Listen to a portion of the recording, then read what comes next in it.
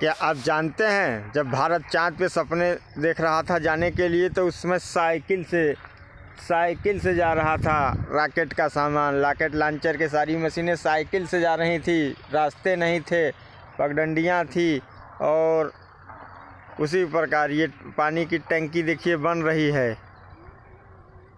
बहुत दिक्कत के बाद यहाँ पे समस्या है और इतनी बड़ी टंकी बनेगी कि चार गाँव में पानी की सप्लाई होगी। और इसको बनाने के लिए पानी ट्रैक्टर से आ रहा है। आप देख सकते हैं, कितनी मेहनत के बाद एक सपना साकार होता है और लोग बाद में कहते हैं कि इन्होंने तो बहुत प्रगति की है। कितनी मेहनत करनी पड़ती है, ये कोई नहीं जानता। कितने वर्षों की तपस्या, कितने वर्षों से उसका ब्लूप्रिंट तैयार किया जाता है, खाका तैयार, कितने इंजीनियर लगते हैं डिज़ाइन तैयार करने में, उसके बाद तब जाके एक सफल प्रोजेक्ट सफल होता है। और उसी प्रकार देश में सरकार ने हर घर में नल से पानी पहुँचाने का बीड़ा उठाया है। उसी के संदर्भ में बड़ी बड़ी टंकियाँ गाँव में बन रही हैं, आप देख सकते हैं, बन रही है टंकी।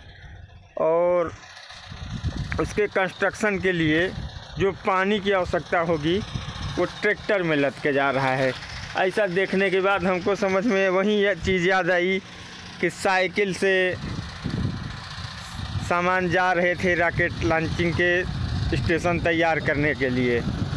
और विकास होगा तो समस्याएँ आएँगी, मेहनत करनी ही पड़ेगी।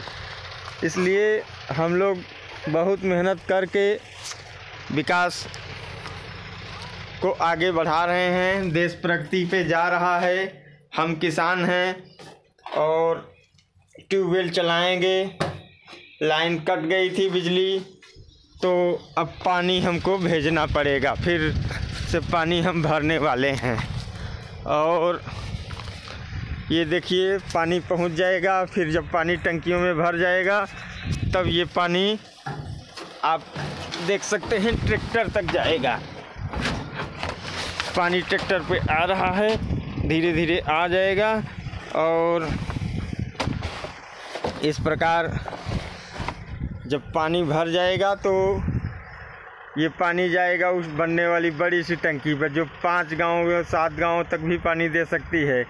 लेकिन आज उसको ज़रूरत है तो आज बाल्टियों से, डिब्बों से इस तरीके से पानी वहाँ भेजा जा रहा है और पानी जाएगा। तो इतनी बड़ी टंकी महत्वाकांक्षी योजना तैयार होगी और हर घर में नल से पानी मिलेगा। धन्यवाद। मैं Sanjeev Singh Patel, farmers family YouTube channel से। आप लोगों को पुराने दिनों से लेकर नए दिनों तक की कई जानकारियों के साथ मैं उपस्थित रहूँगा। धन्यवाद।